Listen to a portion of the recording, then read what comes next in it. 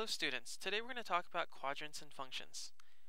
Now the purpose is that at the end of this lesson you should be able to determine what quadrant a point is in given its coordinates. You should also be able to determine if a relation is a function. So just a couple quick definitions before we start. Quadrants, if you notice, the first four letters are quad, which usually refers to four. Now when we think of quadrants, we could think of a graph and how that's split into four different quadrants. So let me throw a quick graph on here so it's a tad bit easier to see. So if we were to take this line and put it on a graph like so, we're able to take this and split it up into four different quadrants. This quadrant is labeled quadrant 1 and we write it in Roman numerals. And from the rest, we actually label them in counterclockwise order. So that was 1, this is 2, this is 3, and this is quadrant 4. So that's how we determine what quadrants our points lie in. There's a very special point called the origin, and the origin lies right in the center, right in the intersection of these two lines, which is right here in blue.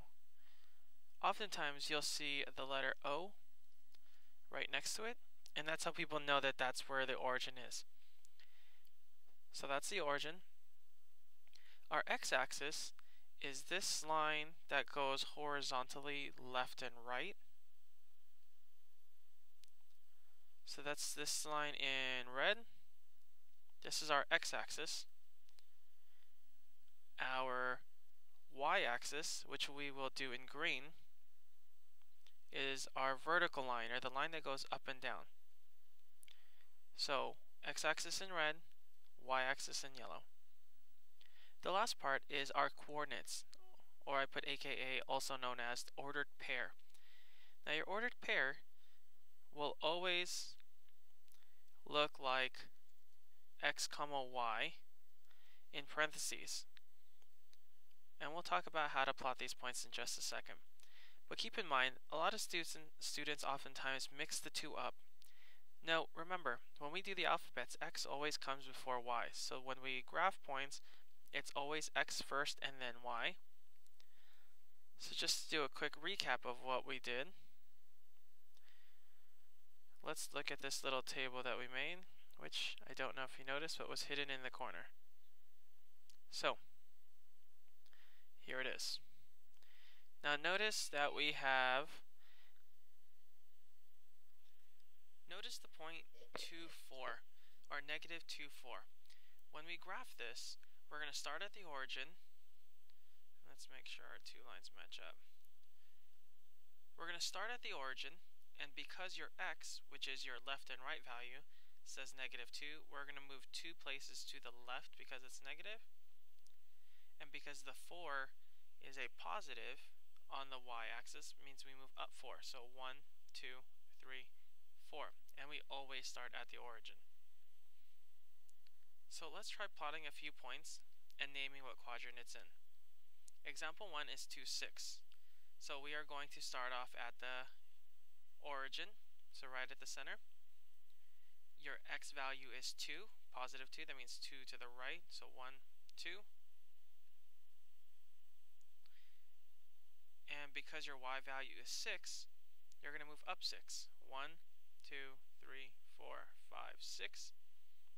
And we're going to call that point A. Let's try example 2. Start at the origin. Your x value is negative 3, so we move to the left 3. 1, 2, 3, and up 5. 1, 2, 3, 4, and 5.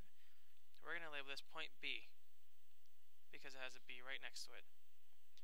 Point C, by now you should probably get a, you should probably be familiar, familiar with what we're going to do next. Start at the origin.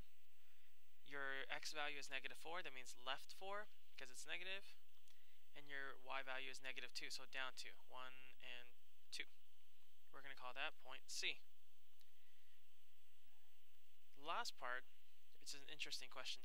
It says x is positive and y is negative. So if x is positive, that means we should move to the right. So anywhere here, and it says y is negative, so that means we need to go down here. So I'm just going to make up a point. Now, remember, point A, because it asks us to name what quadrant it's in, point A is in quadrant 1, so quad 1. Point B is in quadrant 2.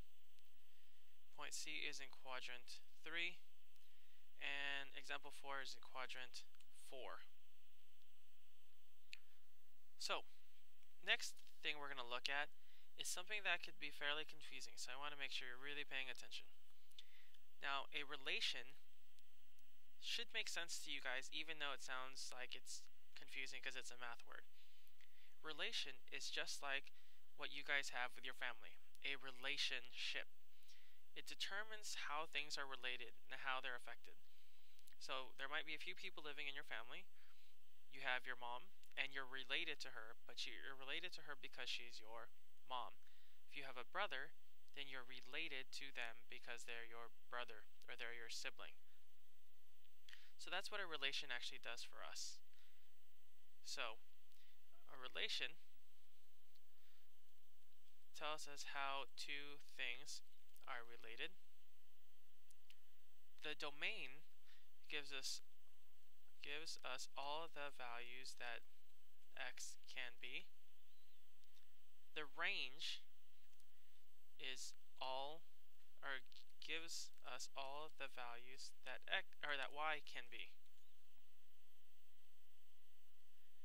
Now, a function is a little bit more tricky of an explanation.